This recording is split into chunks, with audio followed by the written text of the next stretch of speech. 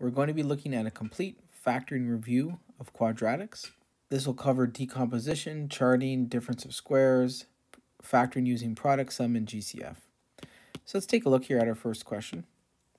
All right, so if you look at the first question here, if you're looking at this here, you're going to say, okay, well, I've got a simple trinomial. Notice the leading coefficient is 1. So I have here a simple trinomial. Uh, when you have a simple trinomial, it's product sum. So my product is negative 72 and my sum is 1. I need to think of two numbers that multiply to be negative 72 and add to be 1. Um, and those numbers are going to be negative 9 and 8. Right? Negative 9 times 8 is negative 72, and negative 9 plus 8 is negative 1. So this will factor into m minus 9, m plus 8. Now again, as we go through the questions, I encourage you to pause the video, try the question out yourself, and then see my solution. So work along with me as we go through these here. So same idea with this one here. Leading coefficient is 1. This is another simple trinomial, so it's a standard product sum approach. My product is 30, and my sum here is 11. Two numbers that multiply to be 30 and add to be 11 are 6 and 5. So this will factor into k plus 6 k plus 5. All right, continuing again, obviously another simple trinomial here. So my product is 50. My sum is negative 15. Don't forget to take the sign in front. A lot of times people do forget that. Two numbers that multiply to be 50 and add to be negative 15 are negative 10 and negative 5. So this will factor into m minus 10 and m minus 5. And again, just as a reminder, order doesn't matter. I could have rewritten this as m minus 5 and m minus 10. Multiplication is commutative. Okay. Now, with these questions here, it appears as if I do not have a simple trinomial. But whenever you factor, you should look to see um, whether there's a GCF on this. And this actually has a GCF of 2. Leave me with an x squared plus 4x plus 3. And now what happens is now inside the brackets, I'm left with a simple trinomial. So I just need to think of two numbers that multiply to be 3 and add to be 4. And those two numbers are 3 and 1. So therefore, this is going to factor into 2, x plus 3 times x plus 1. Likewise for the next question here, right? You always want to look to see whether there's a GCF. Well, I have a GCF here. My GCF here is 3. So I can factor out a 3 and I'm left with m squared plus 6m plus 8. Now I have myself a simple trinomial inside, so I need to think of two numbers whose product is 8 and whose sum is 6. Well, the two numbers who that multiply to be 8 and add to be 6 are 4 and 2. So this will factor into 3m plus 4, 3 times n plus 4 times m plus 2. And now we're fully factored. Okay, likewise with question 6, GCF for 6 is 4, in which case we're left with x squared plus x minus 12, right? And now what I need to do is I need to think of two numbers. I'll write it up here, whose product is negative 12 and whose sum is 1. Well, the two numbers that multiply to be negative 12 and add to be 1 are going to be negative, or sorry, going to be 4 and negative 3. So this is going to factor into 4 times x plus 4 times x minus 3.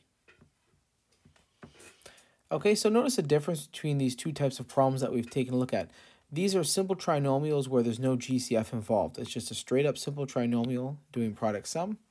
Whereas these are still, you still approach it using a simple trinomial, but there's a GCF that occurs in each one that you have to, have to take out first. And then you're left with a simple trinomial. Okay, now take a look at this next quadratic, all right? Um, if you notice here with this quadratic here, there's no GCF on this. I can't factor that 3 out. It's not common uh, multiple in all three of the coefficients. Can't factor it out, so I can either factor this using charting or decomposition. Let's go ahead and do it using decomposition. So using decomposition, my product here would be 3 times 6, which is 18, and my sum here would be negative 11. So I need to think of two numbers that multiply to become 18 and add to become 11. Well, if you take a look here, those two numbers are going to be negative 9 and negative 2. So using decomposition, what I would do here is this would be 3n squared. I'm going to get rid of the negative 11n and change it to negative 9n minus 2n plus 6. And then you go ahead and do factor by grouping, right, on each of these two terms. Group these together like this, you do factor by grouping. Well, if I'm doing factor by grouping here, I'm going to factor out a 3n, leaving me with n minus 3. Here, like I had mentioned before, always factor out minus signs in addition to the numbers. So I'm going to factor out a minus 2, leaving me with an n minus 3. So now what we have is we have a common factor of n minus 3 in both. So I'm going to take that out of the expression, leave me with a 3n minus 2. Okay, and again, order doesn't matter here. All right, continuing on here.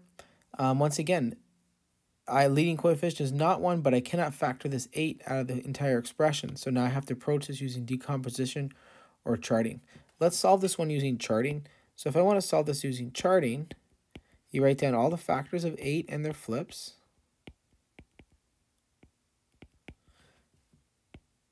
And then you write down all the factors of negative 3.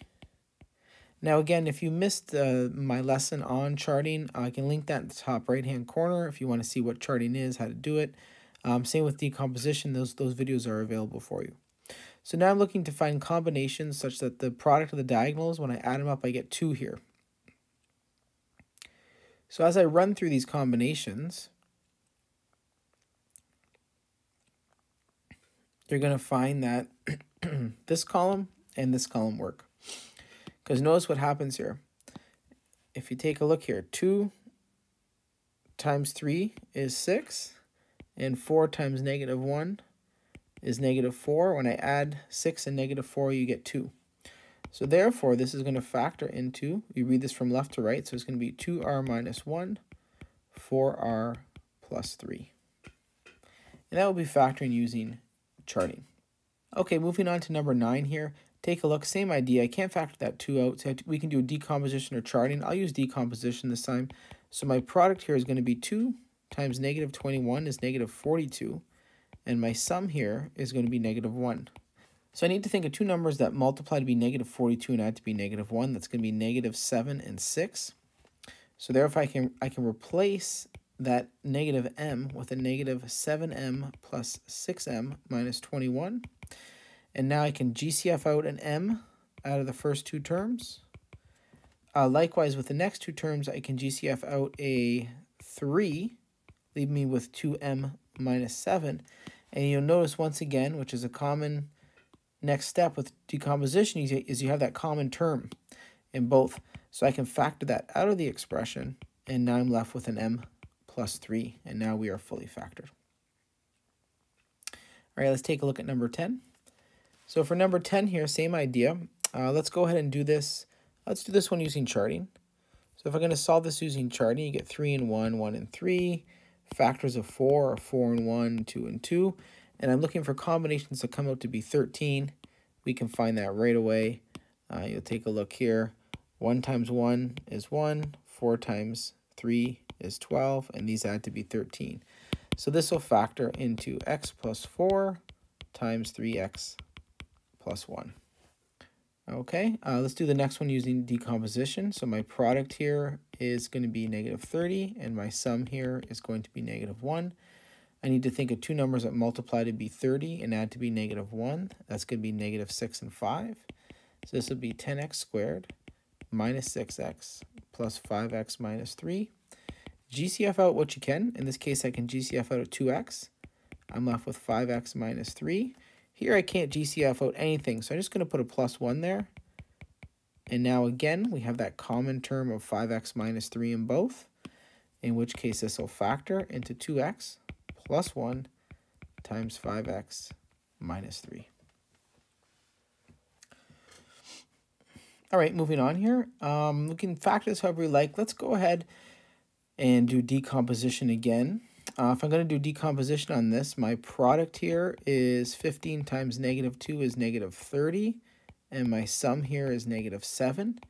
So I need to think of two numbers that multiply to become negative 30 and add to become negative 7. Well, those two numbers are going to be what? Negative 10 and 3. So now I can go ahead and get rid of that minus 7g and replace it with a negative 10g plus 3g minus 2. And then I can factor by grouping here. So I can GCF out the first two terms, uh, giving me a 5g, leave me with a 3g minus 2. And then likewise, just like the last example, I can only factor out a 1. And now I'm left with 5g plus 1 times 3g minus 2. And now we have our quadratic fully factored. Okay, so uh, in these, these six questions here, we have the ideas of you can factor using decomposition as I've done uh, for these examples here, or you have the method of charting, which is also available to you. Both methods work for every one of these questions. Take a look here at number 13. I don't want to do this using decomposition. If I use decomposition, I have 32 times 3 is going to be 96, and the numbers are getting too big for me. So I'm going to go ahead and do charting on this question. So if you're going ahead and going through charting here, you write down all the factors of 32 and their flips. Now there is a lot of them. Uh, what, 4 and 8, 8 and 4. So you've got a lot here to go through. Now we're kind of in luck though because the constant term is only 3 and 3 is prime. You just have 3 and 1. Now again, as we've talked about in previous videos, this is a minus sign here. So the only way to make the product work is if I put minus signs on those. So now, now I need to think of a combination that's going to come out to be a negative 20. Um, and you can find that pretty quick. I already see it right here. Uh, if you take a look, 8 times negative 1 is negative 8. 4 times negative 3 is negative 12 this adds to be negative 20. So this factors into 8x minus 3 and 4x minus 1. So this would be a prime example of where factor by using charting is a lot easier than using decomposition. Okay, let's take a look at number 14 here. If you look at number 14, um, I again, I want to do this using charting. I don't want to have to multiply 21 and 30 together. Uh, charting will still be a bit of work here, especially because of the factors of 30. There's a lot of them um, but I still think it'll be an easier question uh, than doing decomposition. So let's go ahead and try this using charting. So 21 and 1, 1 and 21, 3 and 7, 7 and 3. And then the factors of 30 here, let's go ahead and write down all the factors of 30. So I've got negative 30, so negative 30 and 1, negative 1 and 30, negative 2 and 15, negative 15 and 2, negative 3 and 10, negative 10 and 3, and lastly, negative 6 and 5, negative 5 and 6. Okay, so now pause the video if you want. Try to find this combination. It'll take a little bit of time. Uh, we need the product of the diagonals when you sum them up to get 17. If you went ahead and did that, you should have found this column here with this one here. Notice here when I do this, we end up getting uh, 7 times 5 is 35. And then 3 times negative 6 is negative 18. Add them together and you get your 17. Uh, once you have that, you're done. This factors into 7x minus 6 times 3x plus 5. Okay, so uh, these last eight questions have all been using decomposition and charting. You know, review them. They're a thorough review of uh, factoring with a coefficient that is not equal to 1. Okay, moving on here. Uh, now moving on to difference of squares here. And again, the deal with difference of squares is you got to express this as a power of 2. Power of 2, right? So now I have an expression to the power of 2 minus another expression to the power of 2. So that's going to factor into 5p minus 9 and 5p plus 9. Likewise here, I have to represent 36 as a power of 2. That'll be 6 squared. This x, this is not expressed as a power of 2 yet, right? The base of x is expressed as a power of 2, but the 121 is not. So I have to rewrite this as 11x quantity squared. Now that I have this as a power of 2, we can go ahead and apply our difference of squares formula. Okay, continuing on here, same idea. This will be 1 squared minus 5q quantity squared. Now I have these expressed as powers of 2, so you can go ahead and do your difference of squares formula. For number 18 here, um, you always want to look to see whether you can simplify. So looking at this here, I can divide across by 5, uh, in which case here, if you take 80 and divide across by 5, you're going to get 16t squared. And if I take 405 and divide across by 5, I'm going to get 81. Now notice here, now that I've done a GCF, I have a difference of squares, and I can go ahead and factor this. I have to express these as powers of 2.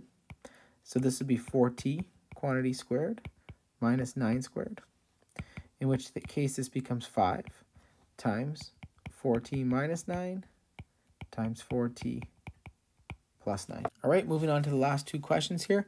These are already expressed as powers of 2, so when I do this here, this is going to be x plus 2 minus x plus 7 times x plus 2 plus x plus 7. Now keep in mind here, this is my x and this is my y. When you use your difference of squares formula, it's really box squared minus triangle squared is going to equal box minus triangle times box plus triangle, right? The x and y are just placeholders. They can be anything, and the x can even be an x plus 2, and the y can be an x plus 7. So now that you've done that here, I can go ahead and I can drop the brackets on the x plus 2. I can distribute the minus sign on the other one. Likewise, I can drop the brackets, drop the brackets, and I end up getting here, the x's will cancel. I end up getting negative 5 for the first term, and then 2x plus 9 for the last term. Okay, uh, finishing us off here with this very last question here. Again, box squared minus triangle squared. So this will end up being x minus y times x plus y. And now what happens here is that minus sign can be distributed in, in which case I get 2a plus 3 minus 2a plus 3 times 2a plus 3 plus 2a minus 3. And now you'll see here the in the first in the first equation that we have, the 2a's will cancel and I'm left with and I'm left with a 6. In the second equation, the 3's will cancel and I'm left with a 4a. This whole thing reduces to become a 24a. All right, that concludes our factoring review here. Again, we've got difference of squares, difference of squares with GCF. We have complex trinomials using charting, complex trinomials using decomposition. We have simple trinomials with GCF and simple trinomials without GCF. Thank you.